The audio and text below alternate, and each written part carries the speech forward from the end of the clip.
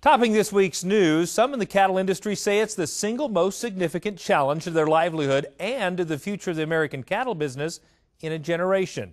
They're talking about the recent proposed rule on livestock marketing from GIPSA, the USDA's Grain Inspection, Packers, and Stockyards Administration. GIPSA and the proposed rule was a hot topic at the recent Cattle Industry Summer Conference in Denver, as Brian Baxter reports. Coleman. I view GIPSA as probably one of the most um, damaging and important issues that we've faced in a long time.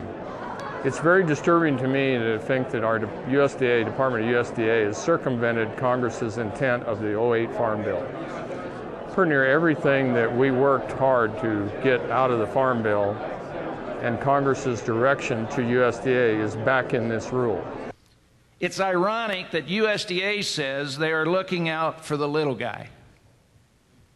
The GIPSA proposals, as I see them, would harm us, the small to medium sized producer, the most. From the NCBA Policy Forum to groups gathered in the hallways, no doubt cattlemen at the Cattle Industry Summer Conference were expressing concern about new rules proposed by GIPSA. The proposed GIPSA rule on competition coming out of USDA is extremely concerning to us for several reasons. But the biggest reason is this is basically big government putting themselves right in the middle of the cattle marketplace. They're changing the liability out there on uh, using contracts. And because of that, we're going to see a lot of the branded products, the alternative marketing arrangements, the contracting opportunities that we've worked so hard for so many years to build to help satisfy the demand that we're seeing from our customers, that's, that's going to go away. What this does is says USDA will now look at those transactions and decide whether they are unfair or whether they are undue uh, preferences to other people, which would be violations of the Act. In doing that, USDA has not only redefined the terms, they've also changed the standards of what it would take to make a case. So, what does that mean? That means that private litigants, civil attorneys, uh, we call them trial attorneys, will have a field day of making the next round of cases against either the Packers or Uh, livestock producers who are involved in those ag- agreements. The GIPSA rule, if allowed to go forward, would hit hard on producers such as Bill Rishel of Rishel Angus in Nebraska. Even as a small producer, he's been able to remain profitable by marketing his cattle based on their high genetic quality. He told the NCBA Policy Forum he fears the new GIPSA rule will take away that kind of opportunity. Speaking for myself and my customers, these proposals will devalue our product when we've spent essentially the last 25 years investing fairly large sums of money to achieve premiums and improve consumer demand both domestically and internationally. There is no doubt that the rules being proposed by GIPSA will increase government intervention in the marketplace. I do not expect, nor do I want, the government to guarantee my profitability.